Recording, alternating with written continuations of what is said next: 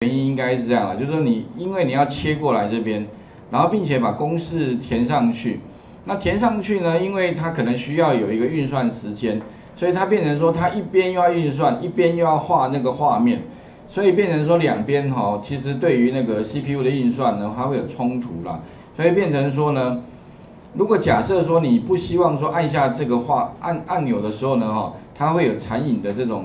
问题发生的话，那其实有个简单的解决方法了，就是说你可以怎么样，不要让那个画面哦，因为你一边又要运算，然后你一边又要更新那个画面，其实会造成就是说呢残影的问题发生。所以简单要不就是怎么样，运算一定要的，因为你一定要帮我做黑名单筛选，并且把资料呃筛选的结果抠过来。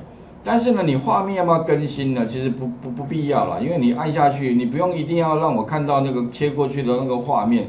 所以啊，其实有个简单的方法，就是如果你假设不希望看到那个残影的话啊，其实你可以在那个黑名单筛选聚集的这个第一行的地方哈，可以跟他讲说，哎，你不要帮我哈更新那个画面，因为我只要你帮我把结果抠过来就好了。那只是说你要怎么样让那个 Excel 知道说呢，你画面不用更新这个讯息。那将来如果说你假设要设定哦有关那个嗯。Excel 相关的这个画面更新的设定也好啊，那你可以记得啊，有一个物件叫 Application。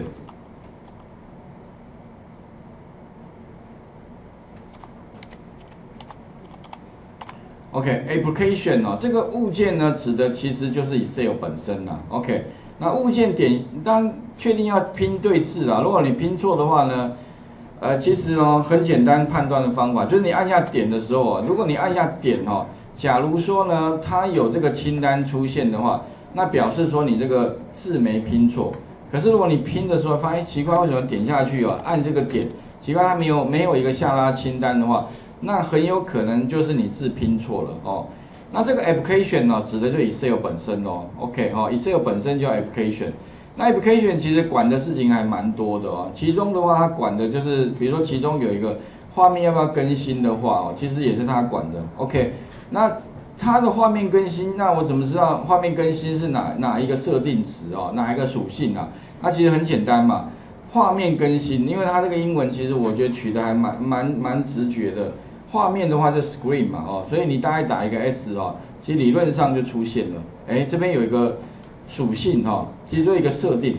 这个设定的话呢，它的名称有没有？应该可以理解吧？Screen updating，哎，画面要不要更新？Stay，哎，对，就这个。那你把它点两下，那后面的话，因为我要关闭嘛，关闭的话，其实哦，你后面加个等号就可以了。等于的话，它就会重新传递一个设定值给这个属性。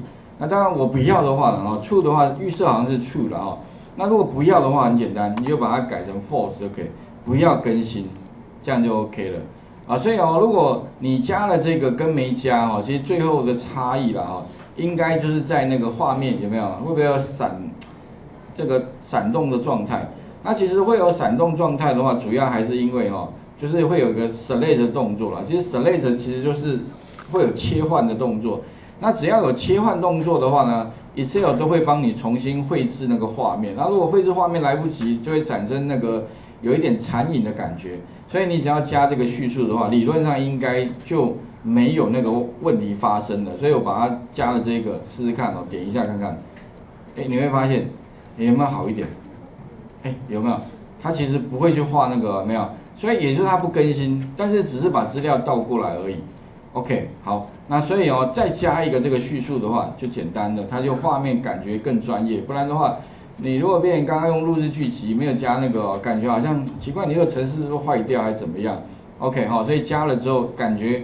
会让这个效果更更加的，嗯，感觉好像更更柔更顺了。OK 哈，那一样哦。如果像那个这个，呃，黑名单筛选 VBA 会不会有同样的问题？我看一下，哎，好像也会，有没有？它其实因为只要 select，它就有这个问题。那怎么办呢？一样的道理啊，我们一样就是再把这一行怎么样，Ctrl C，然后贴到那个什么了？每这个你反正以后呢，你只要遇到类似的状况哦。就是把它加一个 updating 等于 false，这样就 OK 了哈。所以我把它加加这一行上去，然后试一下，哎哎，好像问题就解决了。OK，啊，其实啊，跟各位讲一下哦，其实这个 screen updating 哦，如果你加了之后，另外衍生出来哈，还有一个好处，就是你的执行效率哦，哎，突然间呢变得比较好。我试过，之前好像如果你要 updating 的话，它可能比如说原来可能跑跑个两秒钟，那如果你把它那个画面更新关掉的话，可能就变一点五秒了。OK，可能相对会执行效率会稍微好一点点。当然，你说老师那差零点五秒什么关？有什么差呢？可是问题哦，如果将来你要执行的资料量更庞大的时候，那当然差一点点就感觉就会越明显。OK，所以，哎，请各位试试看哦，把这个更新的部分呢再把它加上。因为今天的作业哦，基本上就是请各位第一个哦，利用那个录制剧集呢，把这功能录下来，好，然后产生这个按钮。第二个的话就是清除，第三个按钮就是这个黑名单筛选 VBA 部分，OK，好，啊，今天练习主要就是啊一样啊，延伸那个这个康 if 这个函数，所以康 if 其实非常好用啊。另外的话还有筛选功能，这个筛选功能也非常的重要，好，那因为我们后面哈，其实剩下的这个这个，我刚看了一下形式力，好像形式力好像就是。剩两个礼拜，在最后一个啊第七这个六月七号，好像这一周就是期期末考周了。哇，时间真的太有有点快。我们其实上的周数其实都被限制了。不过，所以呢，期末这一周的话，那可能你们还是要就是提前先准备一下，就是有关期末报告的部分哦。啊，期末报告的部分我前面有讲过。几个方向哦，第一个就是说你可以从那个期中报告去延伸，但是衍生的内容部分呢，最重要就是说你必须要加上 VBA 的部分，因为其中报告部分我不要求一定要呃 VBA 哦啊，当然你说老师我 VBA 还是不行，没关系，你用录制剧集没关系，其实录制剧集或 VBA 都可以，但如果说你假设了哦，你这是程度好一点同学，你可以自己像我们今天有没有可以用自己写的方式。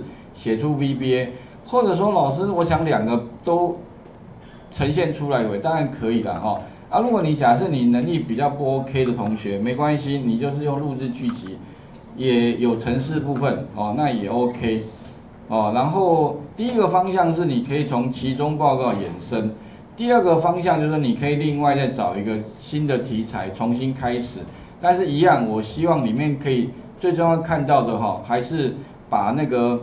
就是呃，Excel 的函数，呃，枢纽分析表啊，枢纽分析图，然后再加上聚集录制，再加上 VBA 这部分啊，然后做一个这个呃题材，就是你找一个你比较有兴趣的一个题目，做一个统计分析的一个结果呈现。OK，好，好，那请各位哈，试着把刚刚的部分先做个 ending 哈，然后并且哦，再思考一下那个期末的部分，因为这学期其实算起来。